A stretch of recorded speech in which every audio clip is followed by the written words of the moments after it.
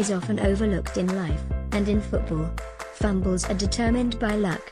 Clutch field goals probably are, too, and the same good fortune applies to the so-called golden generation of quarterbacks who rewrote and still are rewriting the record books, headlined by Tom Brady, Drew Brees, and Peyton Manning. That group surpassed Dan Marino's once seemingly unassailable single-season passing yardage record from 1984 six times from 2011 to 2016. Aaron Rodgers, age 34, hasn't done that yet but he might be the most talented of them all. The reasons this generation got lucky are innumerable. They hit their primes at the moment the NFL liberated passing rules in favor of the offense. Most NFL defenses had zero clue how to adjust to these changes, and that ushered in a record-breaking passing era.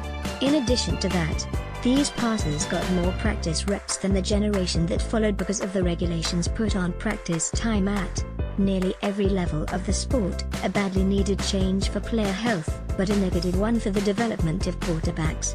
Brady and company were also products of an era when high school and college football schemes were more closely aligned with the pro game, which lessened the learning curve for young quarterbacks. Plus, compared to the offensive line prices of today, lines used to be better at keeping their quarterbacks upright. For all those reasons, we will never see a group like this again. They enjoyed remarkable marriages with good offensive minds. Brady has ordered Bill Belichick, Josh McDaniels, and don't laugh even Charlie Weis. Brees has Sean Payton.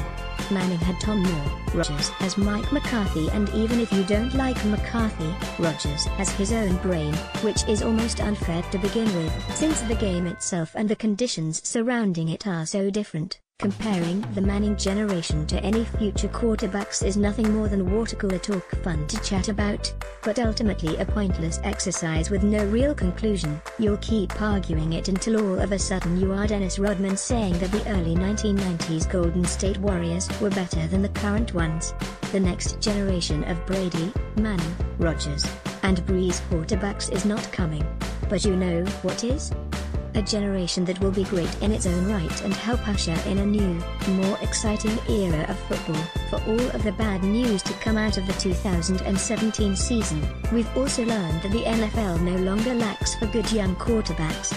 We've long known that Russell Wilson can make a game exciting on his own, and that Cam Newton can do the same when he's on. But now they have some company.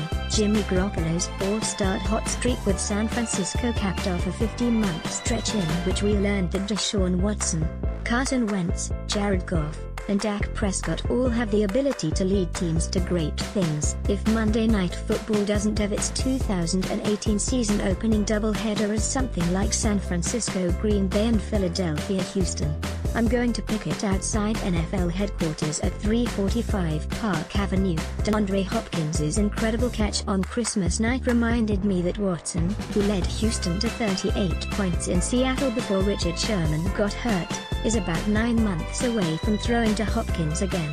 Meanwhile, Garoppolo is still undefeated and just roasted a great Jacksonville defense, and Wentz was the presumptive MVP before his ACL injury this month. It's probably not a coincidence that an era of young quarterbacks is emerging at the same time, partly out of desperation.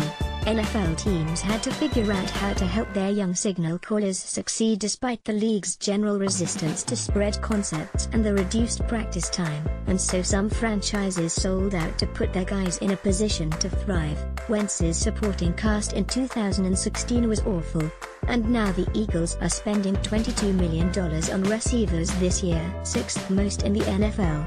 The Vikings' offensive line was laughably bad in 2016, they retooled it, kept the talented wide receivers intact, and, in the process, helped develop Case Keenum into someone so good that Robert Mays asked me unironically on the Ringer NFL show the other day if he should be in the MVP discussion. Keenum, at 29, is not young, but he's a good example of how a good environment for a quarterback creates a good quarterback. As the great quarterbacks of the early 2010s fade away, we will learn what we always should have known about football, coaching, defense, wide receivers, and offensive lines matter. too. Because of the sheer talent of the previous generation of quarterbacks, it often looked like those things didn't matter. Manning was his own coaching staff, for instance, and threw the ball so quickly that he almost didn't need an offensive line. Brees frequently found what seemed like guys from local high schools and made them 1,000-yard receivers.